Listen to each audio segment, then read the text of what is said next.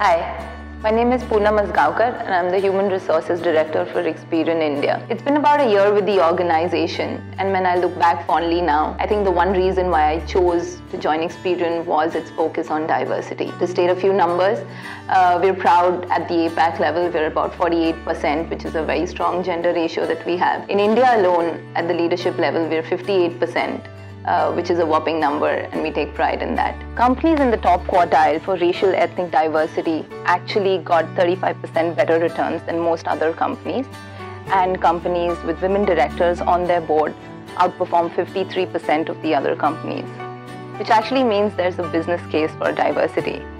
But for me, diversity is really beyond racial ethnicity or gender. It's more about inclusivity, it's more about flexibility, it's about the opportunities that an organization provides to individuals as well as teams. I'm looking forward to interacting with a whole lot of you at the AccelHERate uh, program on 21st March in Mumbai to share perspectives, to share ideas. See you there.